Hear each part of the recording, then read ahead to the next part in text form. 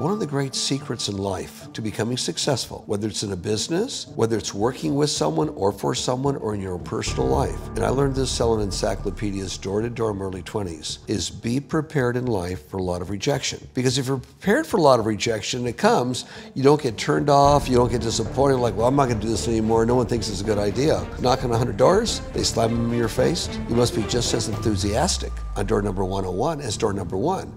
This is John Paul DeJoria, and this is the incredible story of how he turned a $700 loan into $2.8 billion. In high school, John was voted least likely to succeed, and for good reason. His parents divorced when he was just two years old, he grew up in foster care, he was part of a biker gang, and teachers in school thought he was a complete failure. With a bad reputation and below average grades, John decided to skip college and serve in the Navy instead. This changed his life for the better, and after being honorably discharged two years later, John got a job selling encyclopedias door to door, got married, and had a baby. From the outside looking in, everything seemed to be in perfect order. However, the truth was, his life was on the brink of falling apart. His job was purely commission based, which meant that if he didn't sell books, he didn't make any money. And unfortunately, he was soon fired and his wife decided she no longer wanted to be with him. My wife was coming down the stairs and she said, I'm going to the store. She took the keys.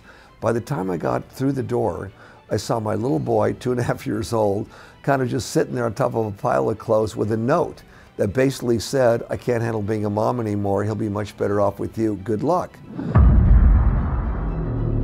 Little did John know she had been stealing the rent money and not paying the bills. So within just a few days, he and his two-year-old son were evicted from their apartment. With no job and no place to stay, he found himself living out of a friend's car and turning in empty soda cans to make ends meet. Now, John eventually landed another job selling shampoo and within just two years became national manager of two divisions. But even though the teams he managed were successful, he was fired once again for complaining to the company's executives about their product testing on animals. It was around this same time that an old friend named Paul Mitchell was developing a high quality shampoo formula that was free from animal testing and harsh chemicals. Paul was a very well experienced hairstylist, but lacked the business experience that John had. So they decided to go into business together and formed the Paul Mitchell Systems Company. John secured a $500,000 investment and the two set out to revolutionize the beauty industry.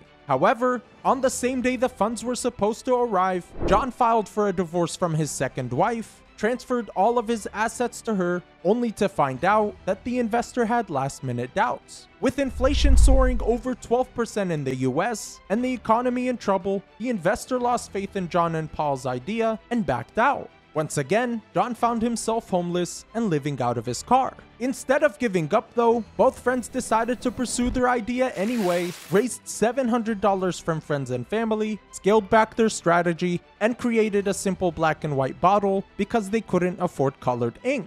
The design stuck, and John convinced salons to try out their shampoo by offering a money back satisfaction guarantee. Although they barely got by for the next two years, sales skyrocketed by year three, and the company went on to do a billion dollars in revenue. Building on this success, John applied the same blueprint of offering high quality shampoo to launch Patron Tequila, the brand quickly got the reputation for being the best tequila around, and in 2018, he sold it for $5.1 billion, shooting his personal net worth to 2.8 billion. Now, instead of splurging on fancy cars or big mansions, John wrote a $50 million check to start the Peace, Love, and Happiness Foundation. He has given away millions of dollars to help fight homelessness and continues to inspire others through his philanthropic work. His best advice, make sure that whatever you're selling is so good that people will want to reorder it over and over again. And once you find success, pay it forward because success unshared is ultimately a failure.